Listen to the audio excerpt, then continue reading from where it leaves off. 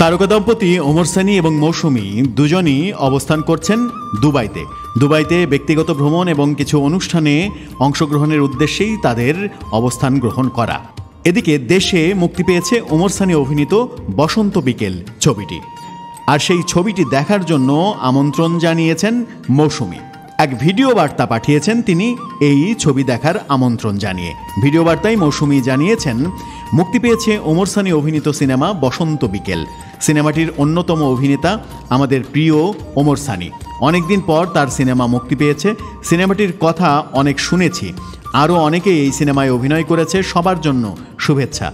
সিনেমার গল্পটি অনেক সুন্দর। আমাকে সানি এই সিনেমার গল্পের কথা মাঝে মাঝেই বলতো। সবাইকে সিনেমাটি দেখার আমন্ত্রণ রইল। আমিও সিনেমাটি হলে গিয়ে দেখব, আশা করছি। রফিক শিকদার পরিচালিত বসন্ত বিকেল ত্রিভুজ প্রেমের ছবি। দেশের উনিশটি প্রেক্ষাগৃহে মুক্তি পেয়েছে গত শুক্রবার এই ছবিটি। এই ছবিতে একটি বিশেষ চরিত্রে অভিনয় করেছেন তারকা অভিনেতা ওমর সানি, যিনি এক সময় বাংলা চলচ্চিত্রের পর্দা কাঁপিয়েছেন।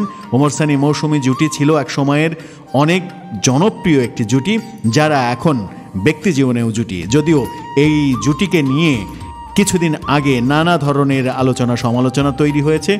এই জুটির ভাঙন ধরেছে এরকম কথাও সামনে এসেছিল। সংসারের অশান্তির বিষয়টি দুজনের বিভিন্ন কথাবার্তায় প্রকাশ্যেই আলোচিত হয়েছে। অবশেষে তাদের সন্তানের হস্তক্ষেপে সংসারে দুঃখের ঘরে সুখের বাতি জ্বলেছে। আর সেই সুখের বাতি আরও বেশি প্রজ্বলিত করতে তারা দুজন একসঙ্গে এখন ভ্রমণ করছেন দুবাইতে। দেশে ফিরে একসঙ্গে ছবিটি দেখবেন বলেও আশা প্রকাশ করেছেন।